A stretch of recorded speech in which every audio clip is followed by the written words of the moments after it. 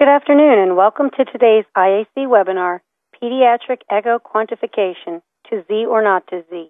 My name is Kelly Bear, and I'm the Creative Design Manager with Marketing Communications at IAC. Before we begin, I'd like to take a moment to review a few technical matters and let you know how you can participate in today's session.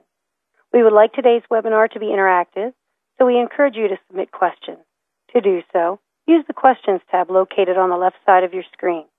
Please submit your questions anytime during the webinar, as we will be monitoring questions throughout the presentation and will try to answer as many of them as possible during the Q&A period.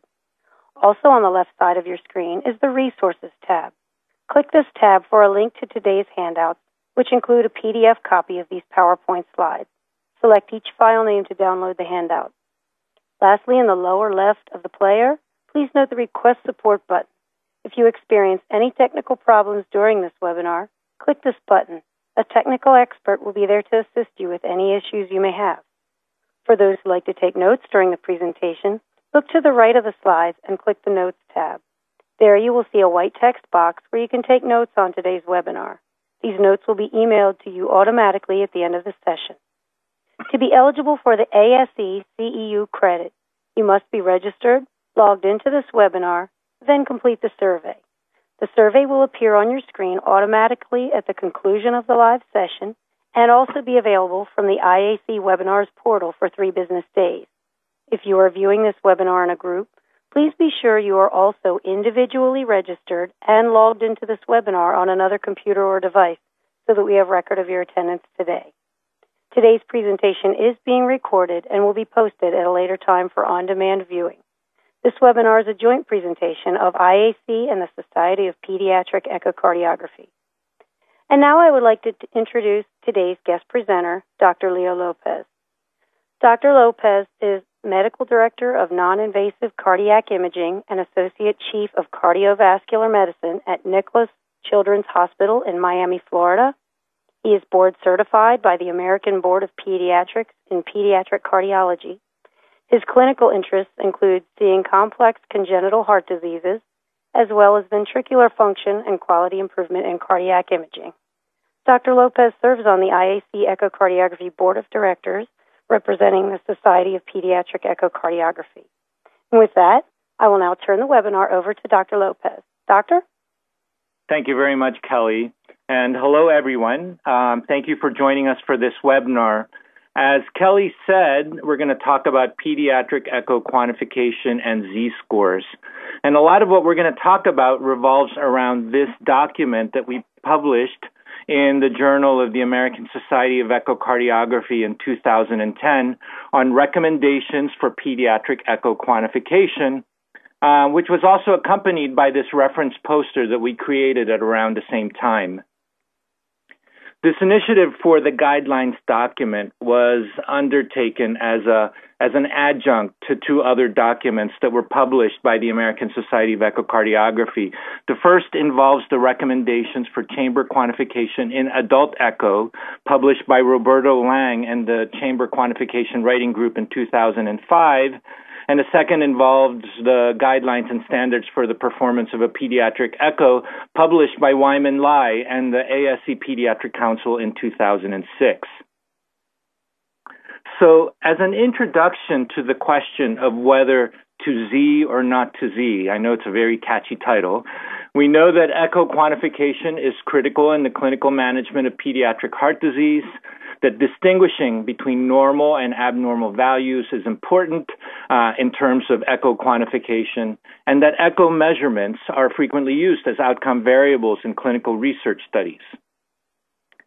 So, in order to discuss pediatric echo quantification and the role of Z scores, we'll talk about the following topics optimization techniques in pediatric echocardiography, some of the challenges with specific protocols for pediatric echo quantification, adjusting measurements of cardiovascular structures for body size, also known as allometry. And then we'll spend the last half of this webinar discussing everything you ever wanted to know about Z scores and more, namely the currently available pediatric echonomograms and their limitations, as well as the Pediatric Heart Network study to address some of these challenges and limitations. So there's certainly been a lot of publications on, on echo optimization techniques, but there are several technical factors that's definitely crucial when performing measurements in a pediatric echo. So first, um, axial measurements, which are parallel to the ultrasound beam, are always better than lateral measurements, which are perpendicular to the beam, because resolution along the axial direction is better than resolution along the lateral direction. Second, lateral resolution becomes worse with increasing distance from the probe because of beam spread. So all efforts really should be made to perform measurements from views which are as close as possible to the structure that's being measured. And third, it's important to remember that at large image depths, the ultrasound resolution exceeds the pixel resolution of the image display. So, decreasing the image depth to the minimum needed for making the measurements and using image magnification um, are always recommended. Measurement should involve multiple views and orthogonal planes, especially for non-circular structures like the atrioventricular valves. The measurements of valves should be performed at the valvar hinge points from inner edge to inner edge at the point of maximum expansion. Uh, measurements of vascular structure should be performed from inner edge to inner edge at the point of maximum expansion and perpendicular to the axis of blood flow along the vessel. So some controversies have resulted from these recommendations, and we'll discuss these in more detail when we talk about the individual protocols. Doppler optimization involves using color mapping before spectral Doppler to determine the direction of flow in the region of interest. You should use a sweep speed of 100 to 150 millimeters per second with simultaneous ECG tracing so that the timing of flow events can be correlated to electrical events. Measurements of maximum and mean gradients um, should use well defined envelopes, excluding fuzz or feathers during the measurement and and when you can, they should be averaged over at least um, three cardiac cycles to account for changes in amplitude because of respiration. So our document served as a methodology paper for performing measurements, especially when acquiring data to generate a normal pediatric echo quantification database. So this is a so-called manual of operations again, you have to remember that these measurements are those that can be performed during a pediatric echo and not those that should be performed. The, this type of recommendation really would require more outcomes data than are currently available. So let's begin with the specific protocols by segment. In most of these discussions, I will focus specifically on the problems and challenges with some of the recommended measurements. I'm sure everyone on this call is aware of many of the uh, controversies surrounding the measurements that we perform on a daily basis in the pediatric echo lab. So let's start with the left atrium. Measurement of left atrial size, useful definitely in the assessment of left ventricular diastolic function. Although the guidelines involve 2D measurements of major and minor axis lengths as well as planimetered areas and apical four chamber views, these measurements turn out to be actually poor predictors of left atrial volumes as measured by 3D echo. So left atrial volumes can be calculated using different methodologies as we outlined in the paper and as you can see here. And these values tend to correlate better with three dimensional echo derived values for left atrial volumes. Pulmonary vein Doppler interrogation, also useful, uh, particularly as it relates to left ventricular diastolic function and mitral regurgitation. But it turns out that this study from the Pediatric Heart Network, which is an NIH funded research infrastructure for doing multi center studies in pediatric cardiology and cardiac surgery, that this study looking at the reproducibility of specific echo measurements actually showed that pulmonary vein Doppler reversal during atrial systole has one of the highest percentage error when it comes to intra and inter-observer variability and reproducibility so not really such a great measurement to use in daily practice. Let's talk about the AV valves. The recommended method to assess atrioventricular valve size involves measuring the annular size from inner edge to inner edge at the valvar hinge points in diastole. We use orthogonal diameters as measured in apical four chamber views and parasternal long axis views. But it turns out that apical two chamber and three chamber views probably provide better estimates of the orthogonal annular diameters than the apical four chamber and parasternal long axis view. Having said that, apical two chamber views sometimes difficult to obtain in children, and most people still use four chamber apical four chamber and parasternal long axis views for these measurements.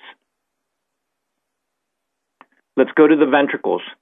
Right ventricular function can be evaluated by measuring fractional area change, tricuspid annular plane systolic excursion, tissue Doppler and blood flow, blood flow spectral Doppler indices, and the myocardial performance index.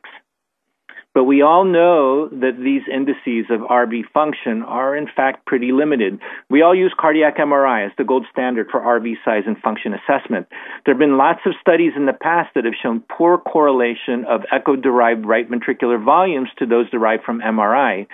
So, for example, this 1995 study from the Netherlands showed only moderate correlation between echo and MRI measurements with pretty significant systematic errors.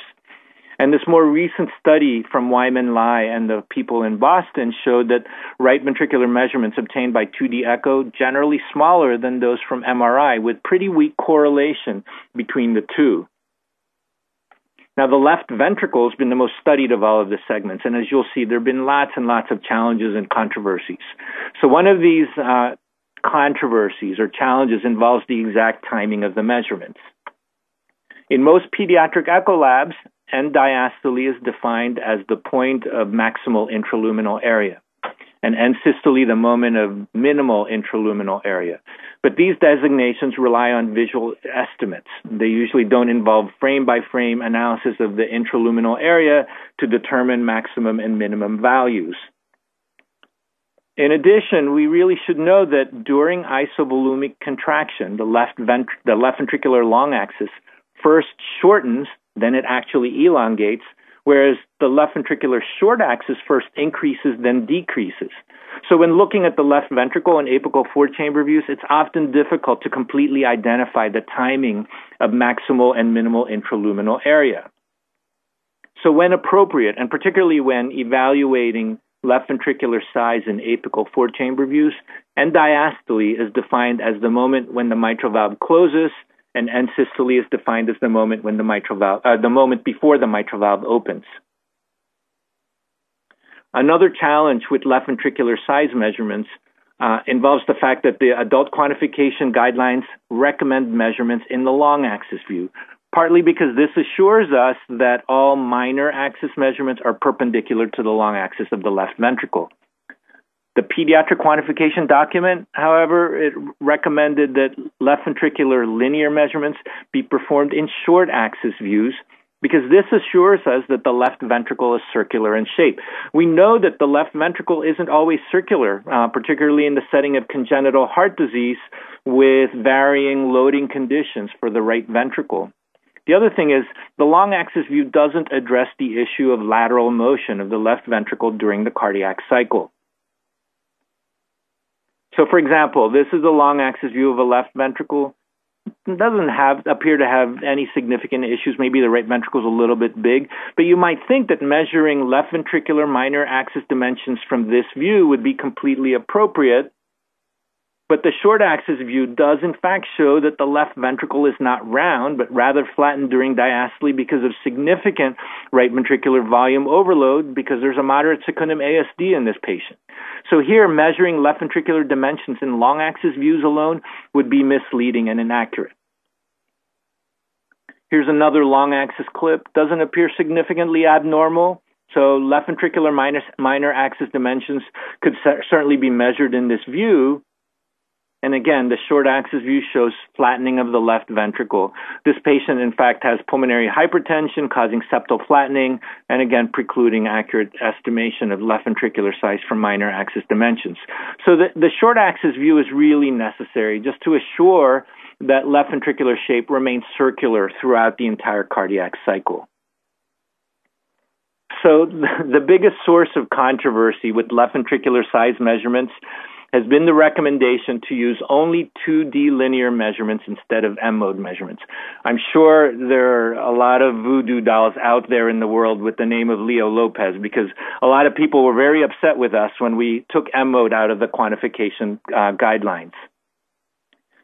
And the reason that people are so um, uh, supportive of M mode was that M mode was the standard of care for many years uh, during the 1970s and the 1980s before the availability of 2D echo. This is an early guidelines paper from the American Society of Echo published in 1978 on how to perform measurements by M mode. Uh, this is what people have done for many years. In fact, this review article by Harvey Feigenbaum from 2010 outlined several advantages of M mode over 2D when it comes to quantification. The most important advantage involves the fact that the temporal resolution with M mode is significantly better by orders of magnitude than the temporal resolution with 2D. So M mode for sure uh, is useful for um, evaluating things like time intervals, uh, mitral valve and aortic valve motion, ventricular septal motion. And because M mode has been the standard for many years, a lot of people suggest that it's in fact ease faster and easier. But Harvey Feigenbaum in his review article actually stated this that in the current era, M mode has limited applications because it is so heavily influenced by the availability of good acoustic windows.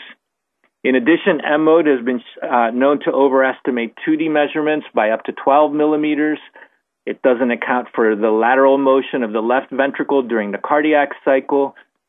And it's often difficult, if not impossible, to pass the M mode line through both the septal wall and posterior wall midpoints, which is what you'd need in order to get a good diameter of the circular left ventricle. So here are two examples of M mode tracings that depict the problem. A close up view of the reference 2D images shows that in neither instance does the M mode line bisect the midpoints of both the septal wall and the posterior free wall. These measurements of left ventricular dimensions would be inaccurate since they're not true minor axis diameters. And then lastly, there, there, some data have been published regarding the poor inter-observer um, reproducibility of some M mode measurements. This study of heart function in children with HIV looked at differences between local and core laboratory measurements of left ventricular size, and they showed that a shortening fraction of 32% obtained locally could correspond to a shortening fraction, uh, shortening fraction anywhere between 20, 24 to 40% at the core laboratory. So it's pretty wide variability. The interesting thing is that this uh, same study from the Pediatric Heart Network showed slightly better reproducibility of M mode compared to 2D measurements. This is because the reproducibility of measurements along a single dimension, along a line as you would use in M mode, is always going to be better than reproducibility in a 2D, a, a two-dimensional plane as you would use with 2D echo. The problem here is that better reproducibility, which is also known as, as um, precision, is not the same as accuracy, which is what we really want. So in any case, it turns out many people are still using M mode uh, measurements in their labs despite our guidelines and standards recommendations. Another source of discrepancy in terms of left ventricular measurements uh, is that some labs perform only linear measurements, whereas others calculate left ventricular volumes for most of their patients. This is a paper from 1978 showing that left ventricular diameters are pretty useful surrogates of left ventricular size in patients with normal left ventricular volumes. But it doesn't work when children have LV volume overload, abnormal septal orientation, or after surgical intervention involving the ventricle. And if an echo lab uses the volumetric approach, they usually have to choose either the Simpson biplane method to calculate left ventricular volumes that uses a summation of disks method, and that's shown on the left, or the area length method as shown on the right. These approaches to calculate um, to calculating left ventricular volumes originate from work in the late 1970s, early 1980s, using cross sectional echo in canine hearts and formalin fixed heart specimens, and then comparing those data to left ventricular angiograms, which for many years before this provided the only way of measuring left ventricular volumes. These two studies used um, different approaches to calculating the volume of the left ventricle using the summation of disks approach. As you can see in the blue graph, uh, the formula um, for the volume of a cylinder in the orange graph, the formula for the volume of a prolate ellipsoid in the red graph, or a combination of the cylindrical and ellipsoid formula, the so called bullet formula that you can see in the purple graph. It turns out that the summation of Disks approach and the bullet approach had the best correlations to left ventricular volumes as measured by angiography, and they had the lowest mean percent error and also are the most evenly distributed values around the mean. You can see that in the blue and in the purple graph. The cylinder approach tended to overestimate left ventricular volumes, that's the orange graph, and the ellipsoid approach tended to under, underestimate left ventricular volumes, that's the red graph. Now, it turns out that the same, again, we're back to this pediatric heart network study uh, that we talked about earlier. It showed that the area length method had a lower percentage error than the Simpson summation of disk method. So many people have actually started using the area length method to estimate um, left ventricular volumes, particularly in the setting of congenital or acquired heart disease, where um, loading conditions for the heart can be abnormal. This is the approach that we use to calculate left ventricular volumes in the Z score project that we're going to talk about at the end of this presentation. It also turns out that, at least in children, there's good correlation between left ventricular volumes measured by the area length method and left ventricular volumes measured by MRI. So now let's look at aortic annular size, which is measured at the valvar hinge points in systole in parasternal long axis views. This is the typical parasternal long axis image that we see in our uh, when we're doing this evaluation. So remember that the aortic valve is attached within the aortic root in a semilunar fashion. So when we measure the annulus at the valvar hinge points, um, we, are actually measuring um, a, a, a diameter from the most proximal attachment of the right coronary cusp to to the most proximal attachment of the non-coronary cusp or, or, leaflet. But if you think about it, because there are three leaflets that make up the aortic valve, the widest diameter of the aortic annulus would have to extend from a commissure to the central attachment of the opposing cusp. So you just have to know that what we call aortic annular diameter is in fact not the widest diameter of the aortic valve at the level of the ventricular arterial junction. The other thing is this term aortic annulus is in fact a, diagnost- a diagnostician construct based on echo images, which don't actually have a true anatomic correlate since the aortic valve is attached in a three dimensional semilunar fashion at the ventricular arterial junction up into the aortic root. It's not like the um, annulus defined for the atrioventricular valves because the tricuspid and mitral valves are in fact circumferentially attached throughout the entire atrioventricular junction. How about the aortic root? We recommended that the aortic root diameter be measured from inner edge to inner edge along a line that's perpendicular to the long axis of the vessel at the point of maximum expansion. No surprise that there are also several points of controversy with these recommendations. So the adult quantification um, guidelines actually recommend that measurements be performed from one leading edge to the other leading edge, which in essence represents a measurement from the proximal outer edge to the distal inner edge, mostly because this practice evolved from the M mode era. In, in, addition, this is the recommended approach in many published echo studies, um, including the Roman nomograms that many of us used to determine whether an aorta was dilated, particularly in the setting of Marfan syndrome. Controversy also exists in terms of the timing of the measurements. The pediatric quantification document recommends that measurements be performed in systole at the point of maximum expansion. So, first of all, we know that there are significant differences between systolic and diastolic measurements of the aorta, as shown by this study uh, from Sydney, Australia. So, the adult quantification um, document recommends that the aorta be measured during diastole. Again, because the M mode guidelines recommended measurements during diastole, mostly because image resolution with M mode was better during diastole. And then again, the, the Roman nomograms are also based on diastolic measurements. However, because the maximum effect of vessel size on vessel function occurs at peak flow, so that's during systole, and peak systolic wall stress, um, which occurs at the point of peak systolic pressure, is the biggest determinant of dissection in patients with aortic dilation. The pediatric quantification document recommended measurements of the aorta during systole, primarily because the clinical significance of these values appeared to be more important. It turns out, um, however, that a very recent study published in JASE suggests that the differences between systolic and diastolic measurements of the aorta in adults may not be clinically significant, even if the differences are statistically significant. We're going to talk about this issue of statistical um, versus clinical significance some more later on in this presentation. And lastly, aortic root shape also can cause some problems.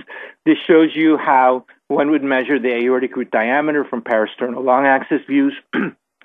Remember that the aortic root represents the widest diameter at the sinuses of Valsalva. The problem is that the aortic root is not actually circular in shape, as you can see in the short axis MRI image. you can imagine how discrepancies can occur depending on where in this clover leaf shape one measures the aortic root diameter. All right, so now we're going to shift gears and talk about normal reference values and z scores you always have to remember that children are not little adults, um, and adult reference values for the sizes of cardiovascular structures usually don't apply to children because the heart grows in size as the child grows in size. So here are two examples of how the average diameters of the aortic annulus and the ascending aorta um, increase in normal people as the body surface area increases or as the child ages. So, allometry is the study of how the sizes of body organs increase as the total body size increases. Let me show you why this is important. Hopefully, everyone here recognizes that this ascending aorta is dilated. This is, in fact, a patient with a bicuspid aortic valve. It's not unusual to have a dilated ascending aorta in this scenario. It almost doesn't matter if this is a child or an adult because you can see that the ascending aorta is big. Hopefully, um, everyone here also recognizes that this is a really small ascending aorta in the setting of hypoplastic left heart syndrome. Pretty straightforward. What about this aorta? If I told you this was a three year old and I also gave you the measurement value, you might know that it was normal but the same value may not be normal for a one month old or for a 16 year old. This is why it's important to look at all measurement values in the context of age, body size, and possibly other confounding factors. Let's think about this another way. We know that the sizes of cardiovascular structures are affected by the abnormal hemodynamics of certain disease states. So, for example, the left ventricle is often big, dilated in patients with a ventricular septal defect. In tetralogy of Fallot, the pulmonary arteries are often small. But we also know that body size plays a role, and maybe age, genetics, sex, race, as well as other potential confounding factors that are listed here. But it's the effect of total body size that we'll focus on primarily, since this is the most relevant confounding factor when dealing with kids. You'll understand the rationale for this when I talk about the Pediatric Heart Network Z score study at the end of this presentation. So, when looking at cardiovascular structures, it turns out that body surface area is the best parameter to measure total body growth. It's better than just height or weight alone. So BSA is usually the recommended parameter when adjusting measurements for the effects of body size. A common practice in, in, in pediatric cardiology and cardiac surgery involves indexing measurements to body surface area in order to account for the effects of allometry. This practice evolved from the known direct relationship between cardiac output and body surface area. But because cardiac output is also directly related to the sizes of cardiovascular structures, it's easy to extrapolate these relationships to a, to a direct linear relationship between body surface area and the sizes of all cardiovascular structures. This is the so called indexing of measurements to BSA used in clinical practice and in research studies. There's so many problems with this, but the most obvious one involves the fact that BSA can't be linearly related to length and to area and to volume measurements all at the same time. This is just mathematically impossible. So, what we really need to do is to develop some uh, mathematical description of the mean behavior of a specific measurement in terms of body size over the full range of body sizes encountered in pediatrics. And this mathematical formula has to work regardless of how big or how old the patient is. The next issue involves the term heteroskedasticity. I love saying this word, but I promise I won't use it again in this presentation. So, heteroskedasticity represents the phenomenon of changing or non constant variance. That is, there's a persistent dependence of the adjusted value on the independent parameter. So, what do I mean by that? And, and, and why is this important? So we saw previously this, this linear relationship um, between aortic annular diameter and body surface area. When the aortic annular diameter is actually adjusted for body surface area, as you can see on the graph on the right, um, it, that's diameter divided by body surface area. What you see is that the adjusted value decreases with increasing body surface area. There's a persistent relationship between the adjusted value and body surface area the adjusted value is still dependent on BSA.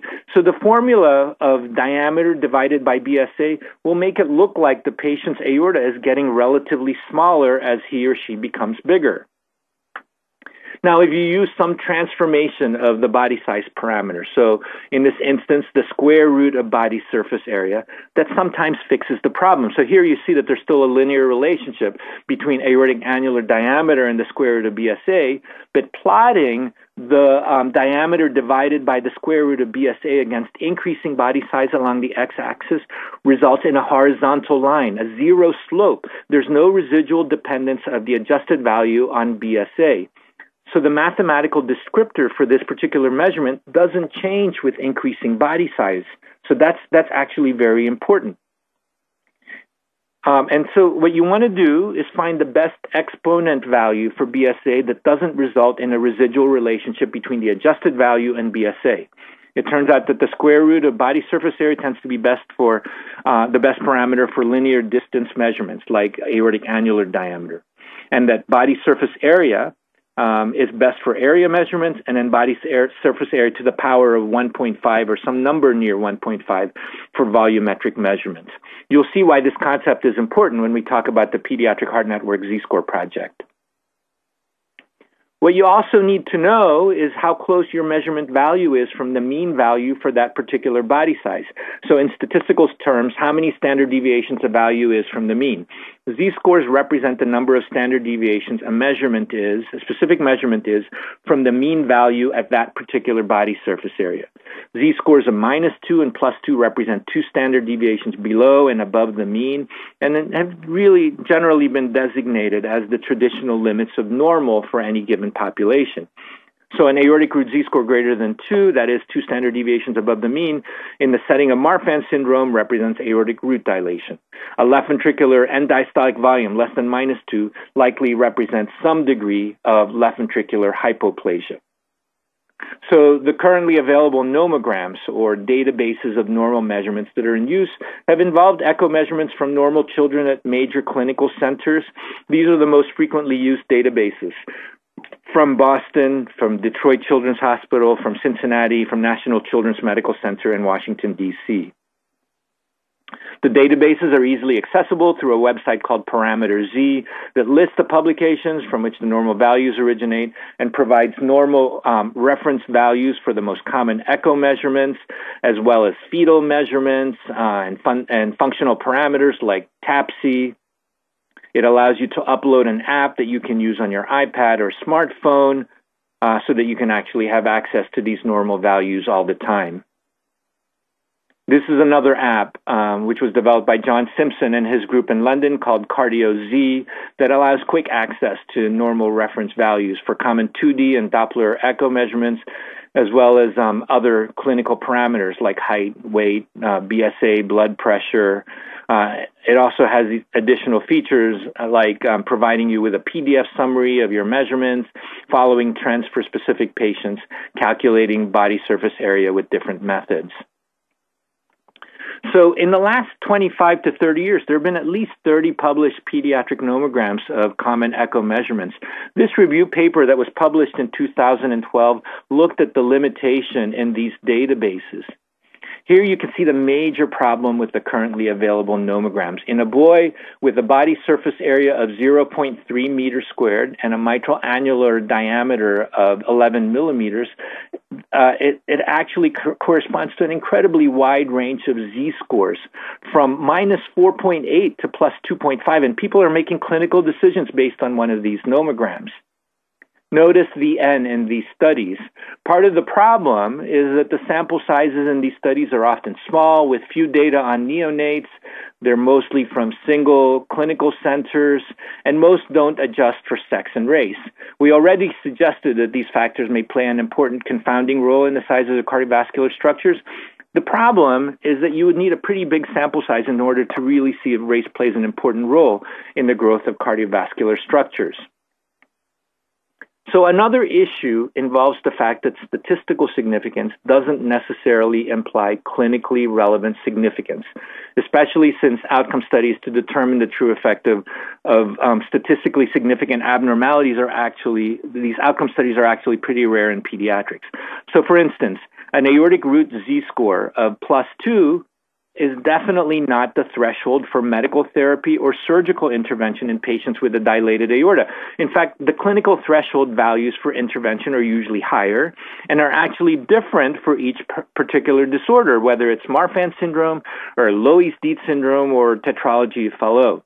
The other issue that we alluded to when talking about systolic and diastolic aortic measurements is that studies with massive sample sizes can easily find statistically significant differences in the analyses that may not necessarily be clinically significant. So we're going to talk about that issue some more in a bit. So beyond the problems with measurements, the method of normalization or adjustment for body size can also vary, making interpretation of the data sometimes confusing. This paper um, looked at 52 studies uh, reporting normal reference values and showed that the most common method for normalization involved indexing or, or using some um, sort of linear or nonlinear regression equation. What's interesting is that heteroskedasticity was addressed in only 27% of the studies, showing just how limited these studies can be. And I'm sorry I used that word again. This is another important factor. There's at least five different ways to calculate body surface area. You can see how varied um, these formulas are. At least one of these formulas is based on less than 10 study subjects, none of whom were children. And the different formulas can actually lead to discrepant index values, especially at the extremes of body size in the really small and really big kids. And then lastly, the body size parameter use can be important. Here's a graph showing just how predictive left ventricular mass is for adverse cardiovascular events and death. But there's, there's a lot of controversy right now as to whether left ventricular mass should be normalized only to height, which means ignoring the effects of fat, especially in the obese population, or, or normalizing to body surface area, which overemphasizes the effect of fat mass. So you can imagine how difficult it might be to evaluate the effects of normalized left ventricular mass on outcomes if we can't even agree on how to normalize the values. We actually looked at this in our obese population. When I was at Montefiore, New York, um, in general practice, people who calculate left ventricular mass using M mode measurements adjust the measurements for height, and those who calculate left ventricular mass using 2D echo measurements adjust for the effects of body surface area. Using these two approaches to evaluate the prevalence of left ventricular hypertrophy in our obese population, the prevalence of LVH with the M mode height method was 64% and the prevalence using the 2D BSA method was 0%. So clearly there's a problem here. And just to be sure that, um, that a bias wasn't created with pairing specific measurement approach with a normalization approach, we cross-analyzed the different methodologies. Um, and although there appears to be a difference in results between the two methods of measurement, there's still a marked difference in prevalence based on the normalization approach suggesting that we just haven't gotten it right yet, and the correct approach lies somewhere in between these.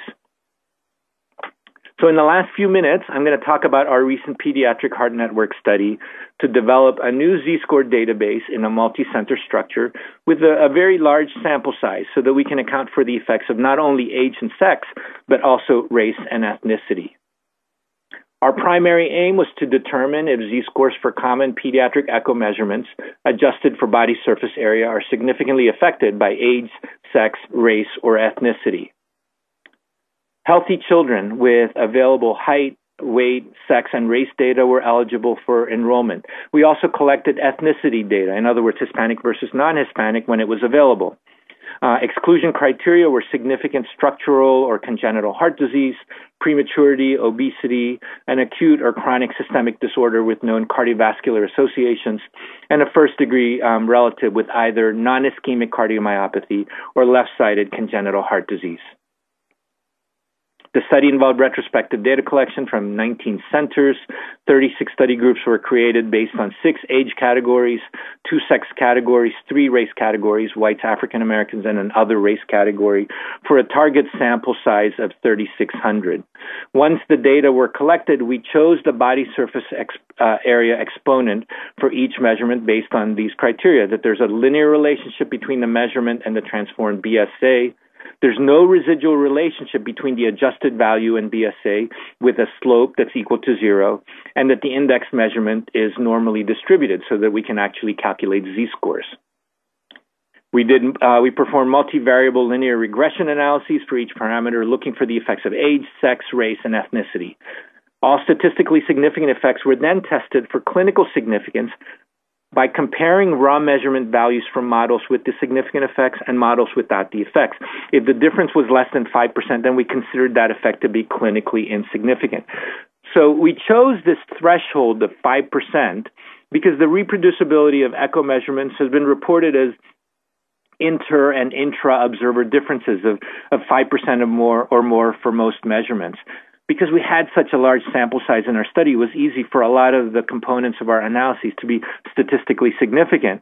So, in an effort, in an effort to distinguish clinical significance from statistical significance in this very large database, we assumed that differences in predicted raw measurement values from different models in our analyses that were less than 5% could very easily be attributable to measurement error rather than a true clinically significant difference. And you'll see why this is important in a little bit. So we enrolled 3,566 subjects. 90% of them had measurable echo images, giving us a total of 3,215 study subjects for the analyses. Because of this large study sample size, we found statistically significant effects by age, sex, and or race for all of the index parameters. But when we compared models with and without these statistically significant effects, we found no clinically significant effects of age, sex, race, and ethnicity on all of our index parameters. This really represents our most important finding. These are a very busy table showing you the mathematical description of each parameter with the body surface area transformation exponent, the mean value of the index parameter, and the standard deviation. The important part is that you would use this formula to calculate the z-score of a measurement for a subject with a particular body surface area using the values from the tables. And if you don't want to use the formula, you can use the old fashioned approach and just plot your measurement on the distribution graph of the raw measurements across the full range of BSA. Then you can see whether your measurement falls um, within the range of normal, in other words, between the two standard deviations above and below the mean. And these are some of the other parameters that were evaluated in our study. So from our data, we concluded that body surface area raised to an appropriate exponential power is a good parameter to use for for cardiovascular allometric scaling to account for the effects of body size on the sizes of cardiovascular structures. The effects of age, sex, race, and ethnicity on the adjusted values are clinically insignificant. So, with our data, we've determined z scores for common pediatric echo measurements that are based on body surface area alone. And we're actually developing an online z score calculator that will soon be available on the Pediatric Heart Network website. So, for our original patient from that we talked about with the wide range of z scores, you would use the data for mitral annular diameter on the z score calculator you would enter the height and weight to calculate the body surface area. And after you enter the diameter measurement, uh, in this instance 11 millimeters, the Z score calculator will provide the Z score and percentile for this particular uh, patient, as well as the mean measurement value and range for a patient of this size. So, in summary, there, there are many challenges and many controversies with the current protocols for pediatric echo quantification. I realize that by the end of this talk, no one's going to want to perform any more measurements because of all of the problems that I mentioned. I, I think it's just really important for everyone to recognize that there are limitations to the things that we do, and that's why we always need to take any measurements within the context of the clinical scenario when possible. And because we're dealing with children, echo measurements should always be adjusted for body size. Um, although age, sex, and race are not clinically significant confounding factors, there may be other confounders that we just haven't studied yet, like um, like like nutrition, exercise, altitude, for example. In addition, most published reference values are limited by small sample sizes and really very um, heterogeneous um, uh, methodologies. Um, and, and lastly, we now have a large database of um, we, we now have a large database of echo measurements and Z scores from normal children using standardized methodology. Is this better than the other commonly used Z scores? I don't think we can actually answer that question. We certainly proved that sex and race don't make a difference, and that's actually very important. We're currently comparing our Z scores to some of the other published Z scores, and we're hoping to publish those data sometime in the next six, six to 12 months. So hopefully we'll have better answers in a bit. Um, but I think we, we all should be happy that now um, we don't have to worry about uh, age, sex, and race whenever we're looking at Z scores. Thank you very much for your attention. Okay, thank you very much. And at this time, we will begin the Q&A session. From IAC Echo, I'd like to introduce our senior clinical specialists, Sandy DePetris and Sue Jensen. Sandy and Sue will be assisting with the Q&A session today. Sandy, would you like to start us off? Sure, Kelly. Thank you. Dr. Lopez, there really aren't very many questions yet, but I have one that's interesting. Um, Josh asks, is the Simpson volume method sensitive for newborns with a BSA as low as 0.2? So that that's a good question, and I, I don't know if anybody has the answer to that because there hasn't been a lot of of evaluation of the variability of measurements like the Simpson biplane uh, calculation of left ventricular volumes and area length for uh, based on the size of the patient. So I, I, I don't know the, the real answer, except that you, you have to be very careful of any type of measurement that you make in the in neonates and infants partly because we're dealing with much smaller structures so the level of error in the measurement is going to be higher the other thing is there is some um, level of error associated with making measurements of height, of the length of moving babies, right? And so um, a lot of people actually question whether or not BSA is valuable in, in, in infants and, and neonates because of the, the variability in height. So I don't know if I actually answered your question, but you, you know, the, the, the, the point here is that you have to be careful because of those two limitations. Okay, Dr. Lopez. Um, Abraham actually has two questions, and this is the first one. Why do we assume that MRI derived data for non volume measurements are truly better than echo measurements? Is there outcome data that supports this? We know that the answer to that is there are no outcomes data, particularly in measurements involving children, because it would take a, a tremendous amount of data collection in order to do that. The reason our adult colleagues are able to to to actually derive outcome outcomes measurements is because they have you know they're dealing with much larger population sample sizes than we do in pediatrics. So so the answer is I don't I don't completely know why we're using MRI, except that, that, that those data tend to be more reproducible than data that's collected in other ways, like angiograms, like echo, um, and things like that.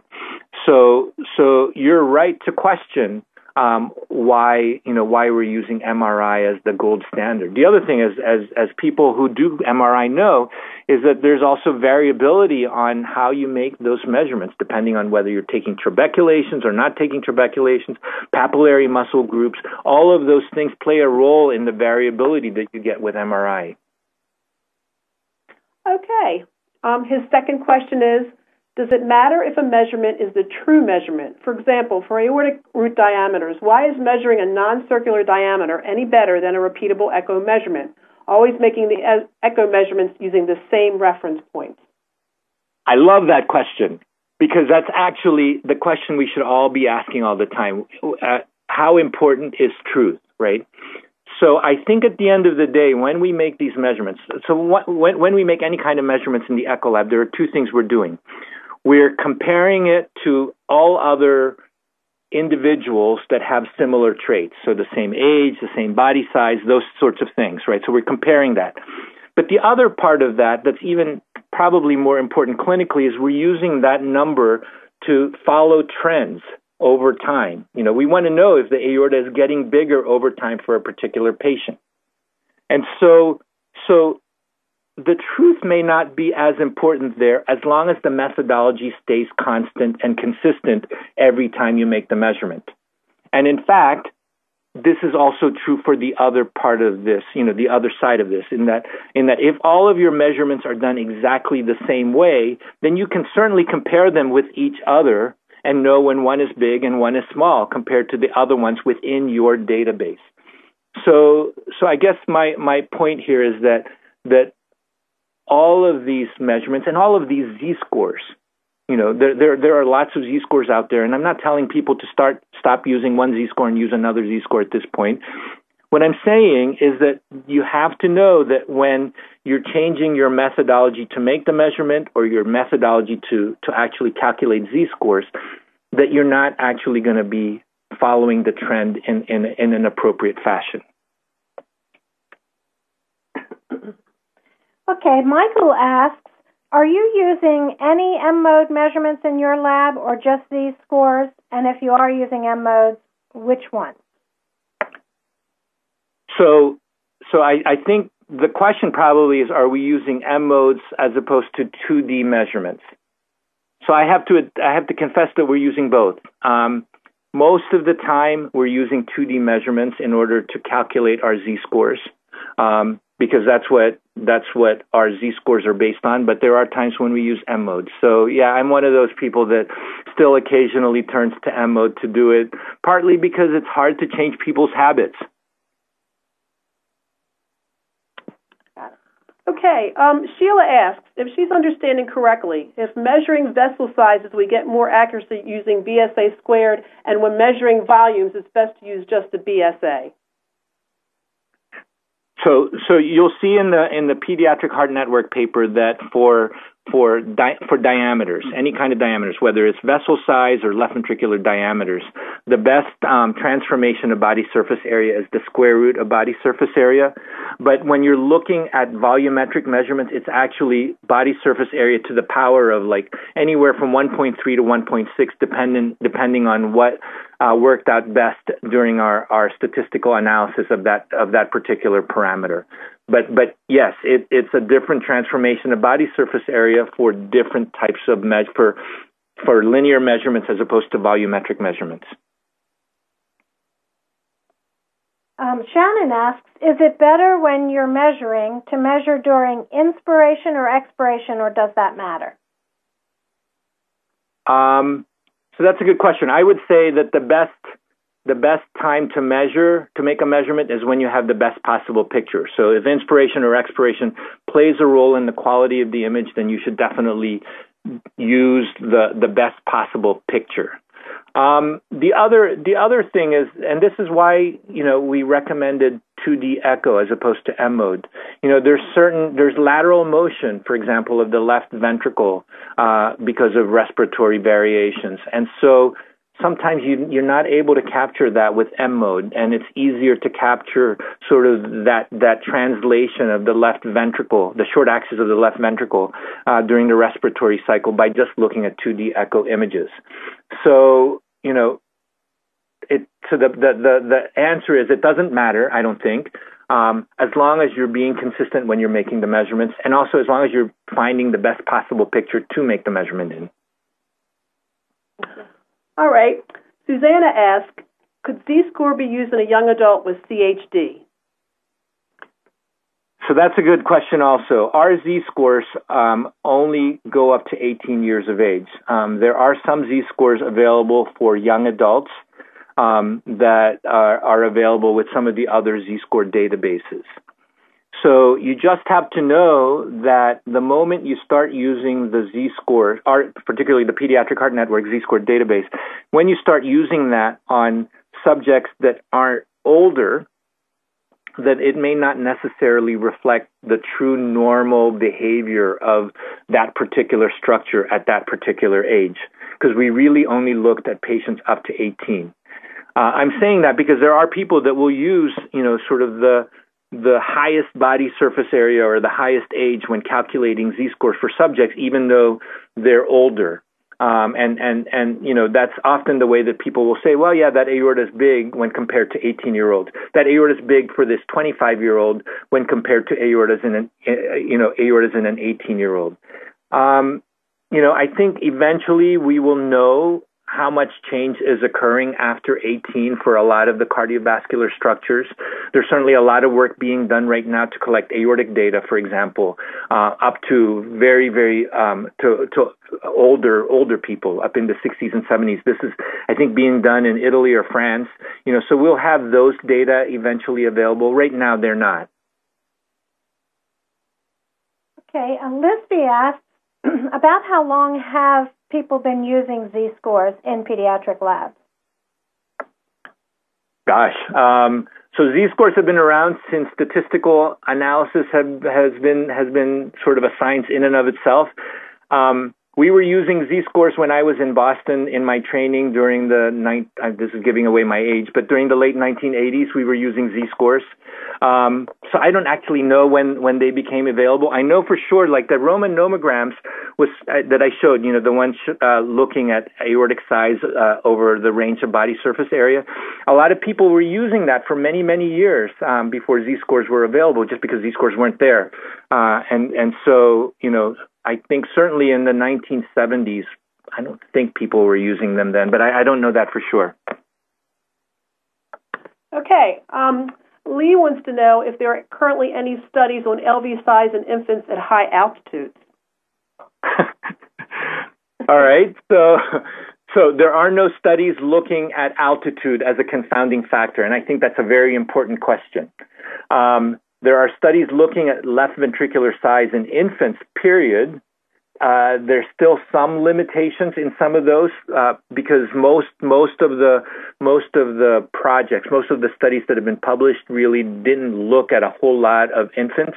Um, that's why we we you know we were very um, uh, focused in our our data collection and enrollment for this pediatric heart network study to make sure that we included a lot of subjects between the age of zero to one month of age, uh, because because we wanted to gather those data on on infants um, that have not really been examined that as carefully in previous studies.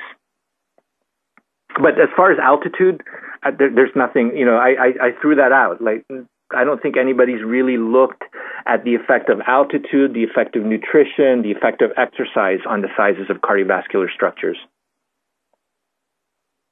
Okay, Kurt asks, what about the work that the Boston group is doing with BMI and LV mass? How does that compare with your data on the BSA calculations? So I have to admit that left ventricular mass has been the, one of the most controversial parts of our study right? Because a lot of people are so dependent on on um, how to normalize left ventricular mass in order to make uh, uh, a diagnosis of left ventricular hypertrophy. And most of the studies out there looking at left ventricular hypertrophy have used height as as the index. Um, so Boston is is looking not just at BMI, but it's looking at lean body mass. Boston and, and several other centers. A lot of a lot of uh, centers are now looking at this. They're looking at BMI. They're looking at lean body mass um, as a way to see if we can find better predictors of how how much left ventricular mass is going to increase as a patient gets older or bigger. Um, and so, so, so yes, that's that's a very important question, and it is something that we are also going to address with our data um, um, at the Pediatric Heart Network. Um, is to look specifically at other body size parameters and their predictive ability um, for for some of the measures that we use. But you can see why lean body mass would be something that's useful, right? Because because uh, really at the end of the day, it's lean body mass that helps determine what what cardiac output an individual needs, right? Not not the amount of fat that there is, and not you know any of the other other. That's why when when we talked about BSA and height and the prevalence of left ventricular hypertrophy, there was such a wide range because I think the answer is somewhere in the middle where lean body mass sits. All right. Well, thank you very much, and a very special thank you to Dr. Lopez for today's presentation. Please feel free to contact IAC Echo with any questions that were not answered during the Q&A session. To receive continuing education credit for attending this webinar, please complete the survey. The survey will appear on your screen automatically at the conclusion of this live session and also be available from the IAC webinars portal for three business days. On the left side of the My Account page, you'll click on Webinars. Look for the title of this session, Pediatric Echo Quantification to Z or Not to Z. Beneath this title, you will see the button Attend Event. Click this button, then the Evaluation tab. Then click Take Evaluation to complete the survey. Your certificate can then be accessed and printed from the very next screen and any time thereafter through the CE transcript section on the My Account page. If you have any questions about the survey, please contact us at webinars at intersocietal.org. Once again, we thank you for joining us today and appreciate your participation.